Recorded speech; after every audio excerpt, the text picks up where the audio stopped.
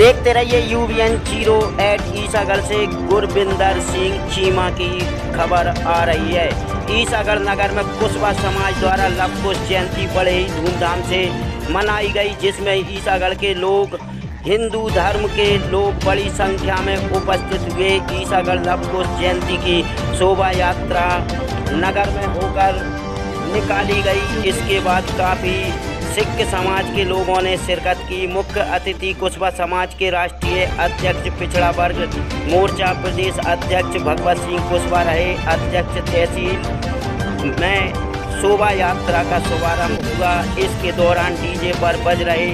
भक्ति धुन पर खूब जलवा बिखरा जिस पर युवा जमकर फिर के यात्रा तहसील प्रधान से कस्बा गली मोहल्ले में होते हुए मुख्य चौक चौराहे होते हुए नगर में मुख्य स्थानों से निकाली गई। बाद में तहसील प्रांगण में आकर समाप्त हुई यात्रा में लोग हाथों में झंडे और बैनर लेकर चल रहे थे। जगह जगह यात्रा का स्वागत किया गया।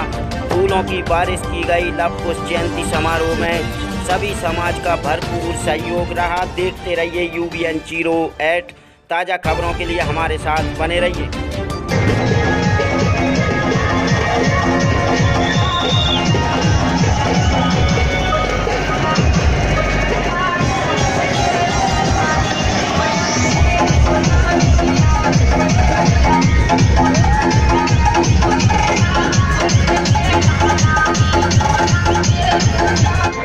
hora, cara.